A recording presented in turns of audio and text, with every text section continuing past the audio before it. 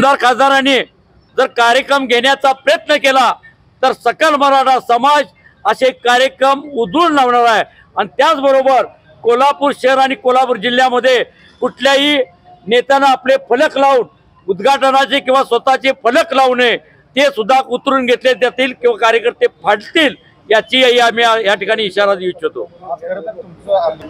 असं या ठिकाणी कोल्हापूरमध्ये आपण कुणालाही अटकाव केलेला नाही.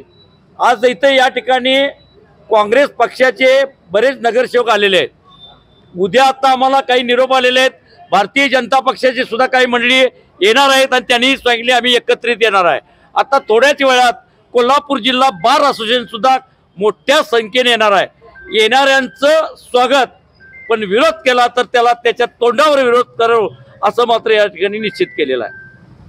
आरक्षण योद्धा मनोज जरांगे यांच्या आंदोलनाला कोल्हापुरापासून जो पाठिंबा मिळत आहे त्याचा उद्रेक वाढत आहे.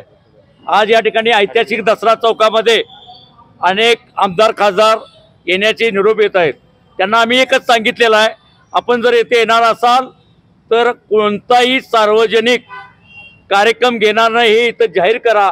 आणि मनोज जरांगे यांच्या जे आंदोलन आहे त्याला पाठिंबा देत असताना त्यांनी गाव केलेल्या मागणीला आपण पाठिंबा देऊन इथून सरळ आपण मुंबईला जावा आणि मुख्यमंत्र्यांना सांगा की तातडीनं यावर अधिवेशन घेऊन याविषयी निर्णय घेणे गरजेचं आहे.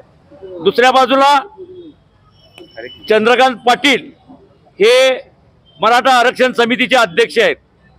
खऱ्या अर्थानं जरांगे पाटील यांच्याशी चर्चा करत असताना एक मराठा समाजाचं नेतृत्व म्हणून चंद्रकांत पाटील ना- नामदार यांनी जाणं गरजेचं होतं. पण त्या अद्यापही त्या ठिकाणी गेलेले नाहीत. त्यांनी तातडीनं जरंगे पाटील यांच्याशी संपर्क साधून पुढील निर्णय घ्यावा.